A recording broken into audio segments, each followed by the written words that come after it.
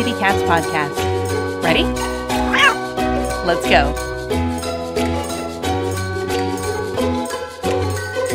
Welcome to the Community Cats podcast. I am your host, Stacy LeBaron. I have been involved helping homeless cats for over 20 years with the Merrimack River Feline Rescue Society. The goal of this podcast is to expose you to amazing people who are improving the lives of cats. I hope these interviews will help you learn how you can turn your passion for cats into action.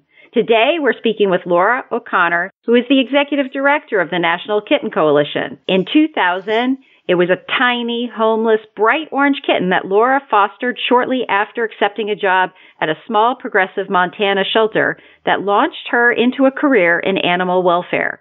Later named Chuck, he lived with Lora and her husband for 18 years and was the inspiration behind her work to expand the shelter's foster program in an effort to save more lives. She went on to become an animal behaviorist, opened a dog training company, and then became the shelter's outreach coordinator, introducing a critter camp for kids and expanding the volunteer program.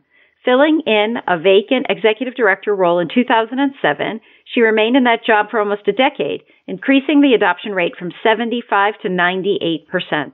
Lora says, I'm 100% positive the reason I stayed in the field were the many continuing education opportunities afforded me. Coming back from a conference, I always felt energized to help more people and pets. I'm thrilled to be able to focus on getting kitten focused life saving resources to animal protection agencies throughout the country.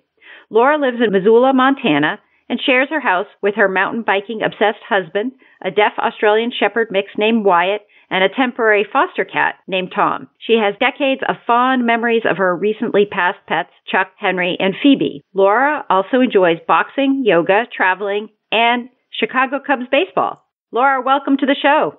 Thanks for having me, Stacy. So you shared a little bit in your bio there about what really inspired you to get involved in the field of animal welfare. What inspired you to become passionate about cats in general? When I started in the shelter in 2000, the adoption rate for cats was much lower than for dogs. I felt that photographs online weren't as vibrant, descriptions weren't as interesting, and just the resources being placed to help cats get adopted as much as they were for dogs. And I really felt like we needed to elevate their status. And so, whether it was intentional or not at that time, I really felt like I needed to put extra focus to helping kittens and cats in animal welfare and sheltering in general. That's great. That's excellent. And so you became passionate about cats. Your bio, you're talking about how you had become an animal behaviorist, opened a dog training company, but somewhere along the line, you must have found this incredible love for kittens. How did you get involved with kittens? And then how did that path get you to the National Kitten Coalition? As you heard in my bio, I had taken in this very small orange kitten and he was in my basically sitting on the palm of my hand. And I thought, well, I could take him home for a couple weeks, put him in my spare bathroom. And once he's eight weeks of age, he can come back to the shelter and be available for adoption.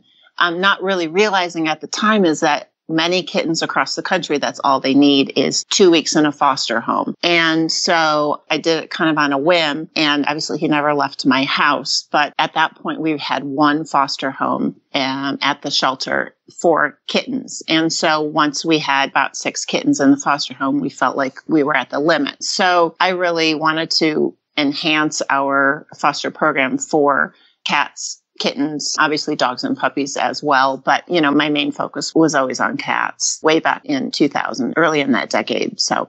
So, did you grow your foster care program to be much larger when you were the executive director of that other program? I did. It was when I was the outreach coordinator. That was one of my focuses was to increase the reach of the shelter by expanding the walls beyond the actual physical building. And so I created an opportunity for people to participate, you know, and to help and volunteer at the shelter by creating volunteer opportunities. Because really what I found was in shelters that you just need to ask people. There are so many people that are willing to help and to donate, to clean, to foster, to bag food. I mean, they're willing to really do anything. You just have to go out there and you have to ask. Yeah, and I agree with you 100%. It's very funny. A lot of people will say, well, how did you get involved in this position? And at the Merrimack River Feline Rescue Society where I ran, and they said, well, Stacy asked me. And so it sort of comes around where you have to be asked in, in order to know what's needed and how to help. How did you learn about the National Kitten Coalition? Did you see them at a conference? You know, how did you find out about them? I did. I actually heard Rosemary Crawford and Marnie Russ speak in Washington, D.C. at AWLA. And that was the first time I'd heard of them. And I kind of got involved that way. That was several years ago. And so when they were looking for an executive director, I applied and I was very excited to be given an opportunity to help, you know, to really focus solely on cats. Yeah. And in your bio, you talk about the importance of conferences and how you would come back all energized and excited. Were there many ideas that you learned at various conferences that you ended up bringing back to your shelter? You know, there were so many. One that actually I remember was somebody had mentioned the option of transferring animals at that particular point living in, in Montana. They were mostly coming from California. And one of my coworkers went to a conference where they ran into this person that was talking about it. And that's kind of how, like, just that kind of chance meeting created an opportunity where we ended up transferring in hundreds of pets from overcrowded shelters and really saving their lives. So I mean, there are so many different little tidbits of information that you come back with that really can change everything you do moving forward. And just, I think a networking is also, it's a really important part of conferences and kind of, you know, getting out of the day to day activity and looking at things kind of in a different way, I think is really helpful. Yeah, I think that at the conference level, sometimes I get a bit exhausted at conferences too. I get a little people overwhelmed, but I do think that the networking is really great and the sharing of ideas is wonderful. And it amazes me how much energy many people have at those conferences. But maybe it's just me sharing, you know, sharing with everybody my age, which is over 50, that I only last about eight or nine hours and I, I can't go out until the wee hours of the morning and then turn around and attend sessions the next day. But it really is amazing. And there is a lot of great energy and you do come back with a lot of ideas from those conferences. But the one thing that we've partnered up with the National Kitten Coalition and the Community Cats podcast is we've partnered up to do a virtual conference and it's the online kitten conference. And we have a great lineup of different speakers. This will be the second year in the row that we've collaborated together on this project. And I would like to find out from you, you know, why did the National Kitten Coalition want to join the Community Cats podcast in doing the online kitten conference?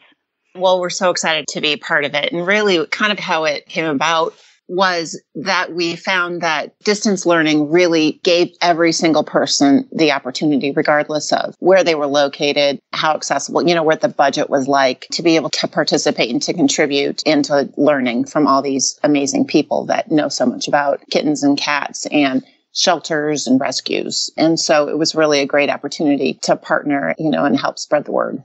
You also have a big collection of webinars that you have done as the National Kitten Coalition. What type of webinars do you do?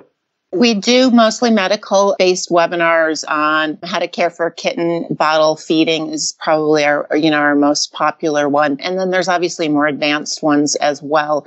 And those can be found on our website and also on our Facebook page and Instagram. And then we recently started archiving our webinars too, so you can access them at any time so they can fit into your busy schedule. You said bottle feeding is one of your most popular mm-hmm. webinars. Mm-hmm. Are there specific tips and tricks that are important with bottle feeding or things that you'd highly recommend somebody look at first and foremost if they're considering being a bottle feeding foster home? Of course, you know, I think that it's really important if you're interested in fostering to look at your setup in your home and obviously your time, and then also the resources of the shelter, because every shelter and rescue is different. So I would definitely look into that and talk to them and then get them set up. And obviously, there's different ages of kittens. And so sometimes it's good to start with kittens that are maybe six weeks of age if you're a brand new foster person. And then that way you can kind of get acclimated to fostering and you probably are going to run into less potential issues or situations that require more expertise.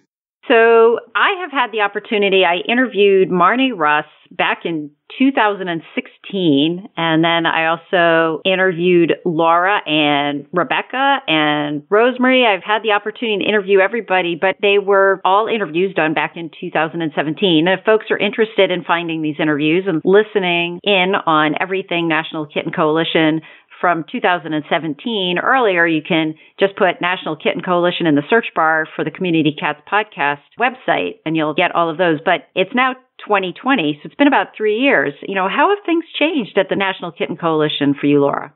Well, I started in October of last year and they had already started really working on webinars and kind of other distance learning options. So that's kind of where our focus is. In addition, we're going to be at a lot of upcoming conferences. So we'll have an opportunity to not only speak, but to meet the different people that are kind of in charge of cats and kittens in different organizations across the country so that we can spread our word. You know, we're also beefing up our website. So we'll be adding even more resources. We want the National Kitten Coalition to be the number one place that you go to when you have any questions kitten related. And so we're going to be doing that also. And then more recently, we traveled across the country to some of the top kitten nurseries in the country country and created a kitten nursery manual, and that's available free on our website to download. Excellent. We'll make sure we have that link in the show notes too for folks that can download it because I think all of these tools are not only helpful for organizations, but there are several individuals out there, not several, there's lots of individuals out there who actually do sort of foster care on their own. I would call them the non-affiliated. And I think so much of this information is really important for them too. So they should be looped into the National Kitten Coalition also. Sign up today for a kitten focused event presented by the National Kitten Coalition and the Community Cats podcast. It's the online kitten conference. This three day virtual gathering will feature presentations by experts on raising and saving kittens, setting up and managing kitten centered shelter programs, and more. The online kitten conference is going to be on June 12th through the 14th, and all presentations will be recorded. So if you can't attend them all, no worries. You'll be able to watch the recordings afterwards. Since this is a virtual event, you'll have the opportunity to gain valuable insights and have your questions answered by some of the most knowledgeable leaders in the animal welfare community without the expense and hassle of traveling. For $75, you'll get full access to the whole program of the online kitten conference in 2020 on June 12th through the 14th. CommunityCatsPodcast.com and sign up today. We can't wait to see you there.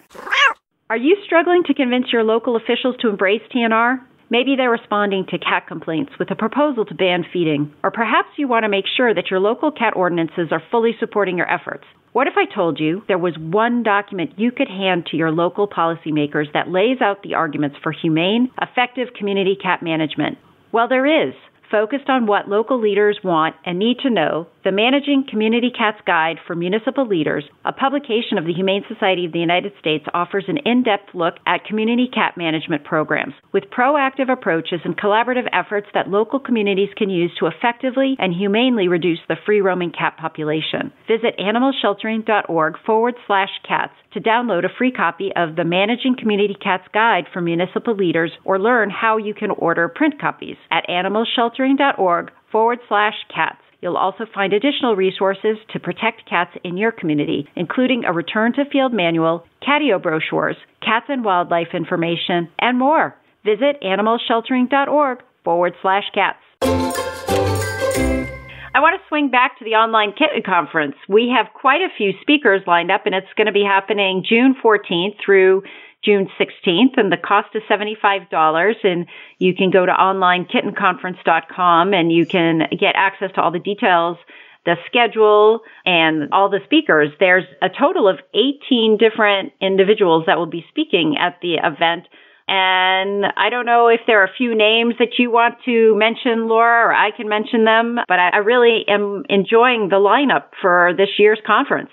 Oh, yeah, it's fantastic. Who's your favorite? If you can pick one. I can tell you, based on my listeners, our number one podcast is Dr. Mikel Delgado, and she'll be on a research panel. So she talks about studies advancing kitten care, stress responses, and cross sucking behaviors in orphaned and neonatal kittens. But her podcast that I did with her is our number one show right at this time.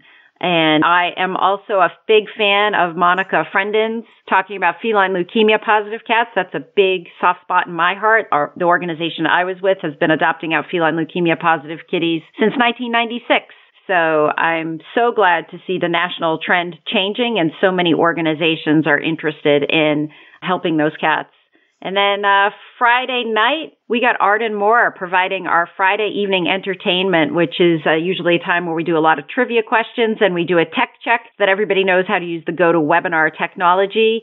And she'll be talking about some of the books she's been writing about her pet first aid and CPR. She's got a really cool cat named Casey that you can, I guess, do pretend CPR on. And she does a great job there. Yeah. So those are just sort of three of the folks that I'd like to highlight. And also, folks, if you can't attend all of the presentations, don't worry. They will be recorded and available for a couple of months after the conference happens. Lora, I don't know if there were a couple of names that jumped out at you. Are there folks that you've really looked at here?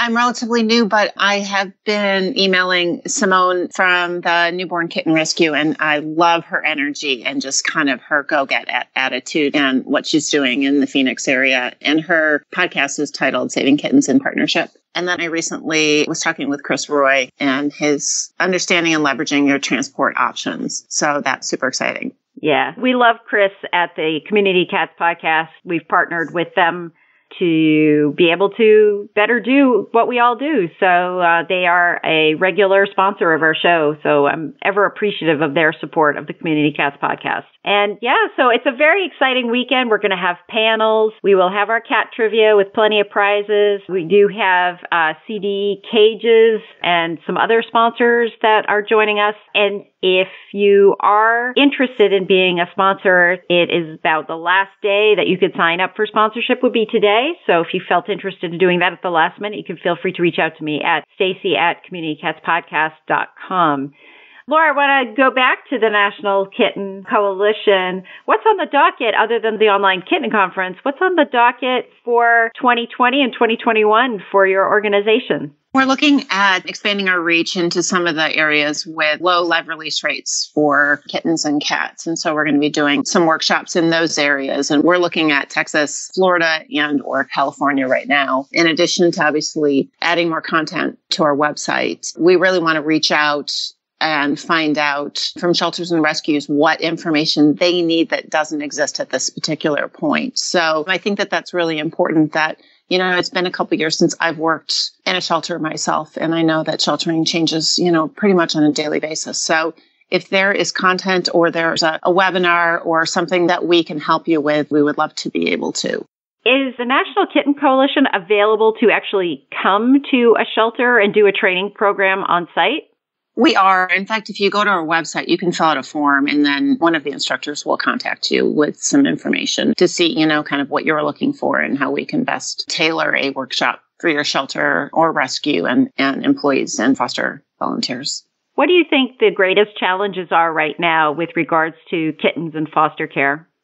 I think that it is still looking outside the box and saying this is the way we do things and we don't have to do them this way and you know how can we change our adoption rate? How can we save these kittens? I think is a really good way to look at it. Because i remember years ago this is when adoption practices were super strict. You know if you work full time you couldn't adopt a puppy or you know a kitten. You certainly didn't have time but yet people obviously were still obtaining pets in different ways. And so i went to a conference and somebody had said you know instead of giving people the reason why they can't adopt try to help them so that they can. I feel like you can take that bit of information, you can apply it to the kitten and cat population. I still think resources are being filtered more to dogs than to cats. And so I'm hoping to change that. And I know that, that it can be difficult to get personalities and kittens, but I certainly think that they deserve the same amount of attention. Do you think over the last 20 years that the resources are changing and more resources are becoming available for cats, or are we still sort of always the groups that have to struggle really hard to get those resources?